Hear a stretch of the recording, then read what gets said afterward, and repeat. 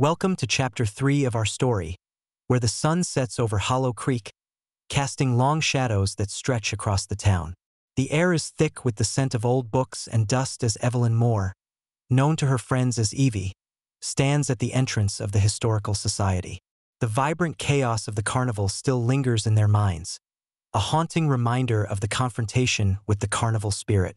Evie, along with her friends Jake, Lily, and Marcus, are united in their purpose, ready to uncover the truth that binds their families to the curse of the carnival. Join us as we delve into the mysteries of Hollow Creek and the secrets that lie within its history. Inside the Historical Society, the dim light casts eerie shadows over cluttered shelves filled with artifacts from a bygone era. Mr. Abernathy, the eccentric local historian, shuffles through a stack of papers. His wild gray hair frames a face etched with the lines of countless stories. As he looks up, his thick glasses slip down his nose, and he offers a knowing smile. You've come to seek the truth, haven't you? He asks, his voice gravelly yet warm. Evie nods, her resolve hardening. They need to understand the carnival's curse, a curse tied to their families. Mr. Abernathy gestures for them to gather around a large oak table, its surface scarred by time. The carnival is not just a spectacle. It's a mirror reflecting the town's buried traumas, he explains. As the group leans in, the historian begins to unravel the threads of the past, revealing connections that send shivers down Evie's spine. Jake, with his sharp blue eyes alight with determination, scribbles notes furiously.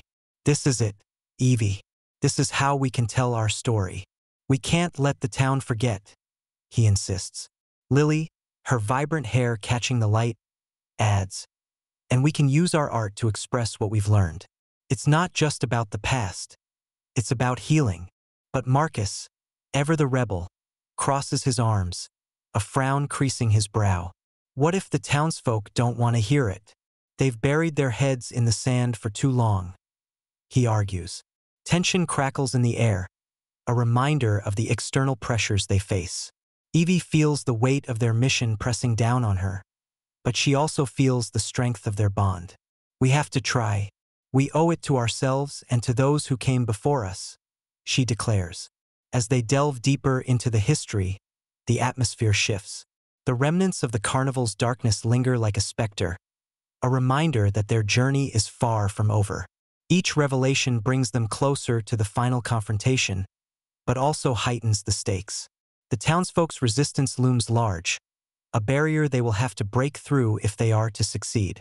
With newfound determination, Evie leads her friends out of the historical society. The sun dips below the horizon, casting the town in a golden hue.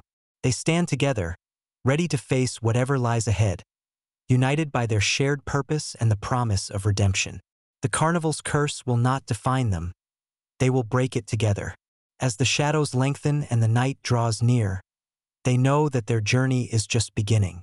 The path ahead is fraught with challenges, but with courage and unity, they will overcome. Stay tuned for more as we continue this thrilling tale of mystery and courage. Don't forget to subscribe to Storyteller for the next chapter.